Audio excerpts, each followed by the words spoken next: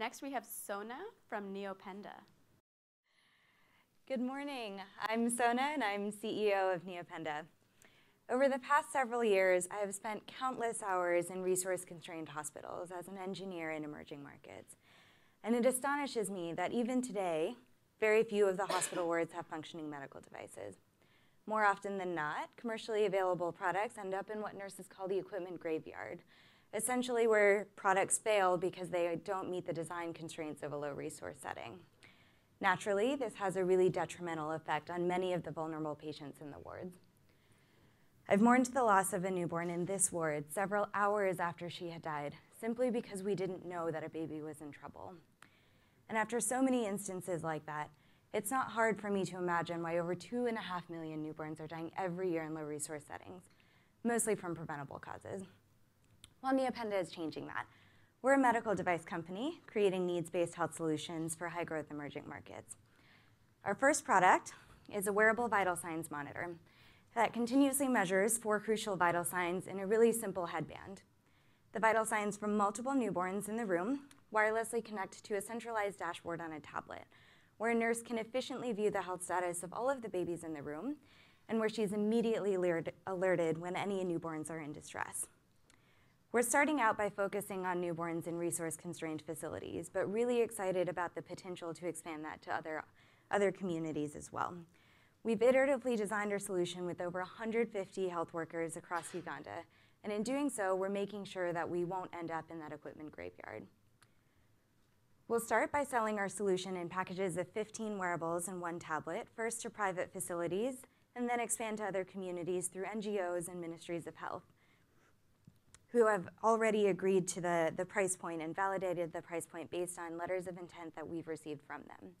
But we're turning to the Solve community to help us expand our efforts and understand that procurement cycle to ministries of health and expand our efforts to community health workers, where this could be used as a referral tool or a diagnostic. And if we can achieve that, we have the ability to improve quality of care for over 16 million patients by 2023 and operate in over 4,000 facilities around the world. We're well on our way to doing that. We're excited to have a local team in Uganda. We are part of the Techstars Chicago program, and we're excited to have received final approvals to conduct a clinical trial at Tufts Medical Center in Boston prior to doing feasibility studies and commercializing in a year from now. But we know we can't do this alone. So we invite all of you to join us, and we're looking to the Solve community so that together we can create medical solutions for where they're needed most. Thank you.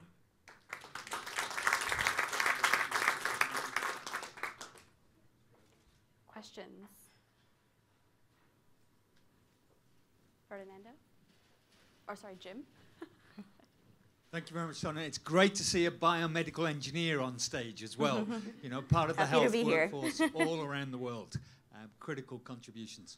Um, you particularly suggested there solve advice and support as you look at engagement with the public sector, engagement with communities. What are some of your thoughts in particular of what Solve could contribute? Absolutely. So, of course, um, ministries of health are a very complex nature, and we are very interested in understanding how do we engage the Ministry of Health? At what stage do we engage them? How can we make sure that we're designing for those lower level health facilities that we, are in rural communities? And then taking it a step further, understanding how can we get these to the frontline health workers that are in more rural communities. How do we adapt this so it's not necessarily a package of 15 wearables and one tablet, and it could be used as a referral tool um, where a, a community health worker has a smartphone application, for example. So all of those relationships and partnerships are what we're looking for from the Solve community. Cheryl? Thank you, Sona. Fantastic, um, fantastic solution. And um, you know, this looks to me like a, a, leapfrog opportunity. And and so, wondering if you could talk. Um, you talked about the impact, of, of course, um, but but also what about the impact on cost? You know, this is a, a better technology um, delivering more impact. Um, what are the savings for for the healthcare facilities? That's a great question, and we certainly are validating that through clinical studies. And what we are seeing is that vital signs monitoring has the opportunity to not only improve patient outcomes, but we can decrease the length of stay that a baby stays in a hospital. Um, that is especially crucial for really resource constrained facilities where the burden of patients is just so high. Um, there are many studies that talk about the how decreasing the length of stay will increase cost effectiveness of a product, um, and that's what we're validating through our clinical studies. Pierre. Thank you very much. I, I joined Jim in applauding a biomedical engineer on stage. And could, could you tell us a little bit about your design process that led you to this solution? And do you worry that a monitor is highly commoditized and you really end up in a, a price pressure situation and your cost of goods will be really the most critical feature here in terms of your, the success of the product? Yeah, great. Um, so we started uh, in a biodesign course at Columbia University, so just down the road. Um, and we went through this entire process of understanding the problems first, as opposed to creating technologies and then finding out the problem. So what we were looking at is how do we help service the massive number of critically ill newborns and the very few nurses that are available to help uh, to help these babies. Um, so that was really the problem that we started tackling.